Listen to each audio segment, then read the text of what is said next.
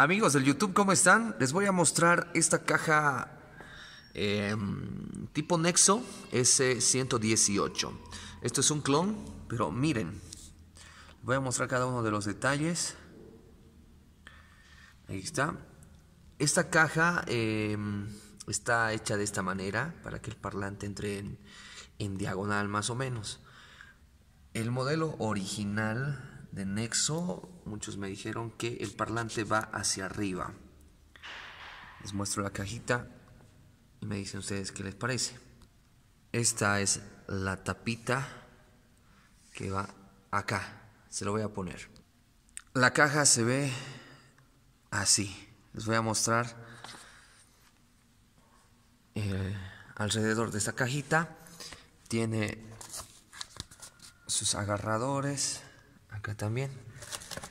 Obviamente yo me hice hacer esta fundita para cuidar la caja al momento de cargar y no se esté rayando con los otros equipos. Así está, está un poco sucio, van a disculpar. Porque tocamos el fin de semana y hoy nos toca hacer mantenimiento. Aquí está es el Nexo STMS 118. Puse estos conectores de, de, cuatro, de cuatro pines tan solo uso dos.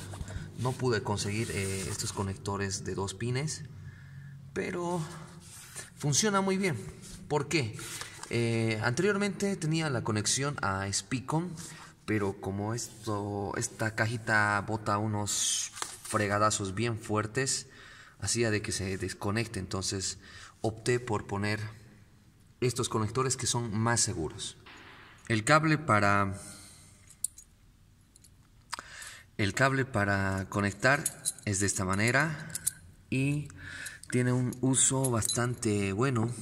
Entra de esta manera y tiene esta cosa para enroscar con el conector. Así esto no se mueve y este cable conectaríamos al, al otro parlante para puentear.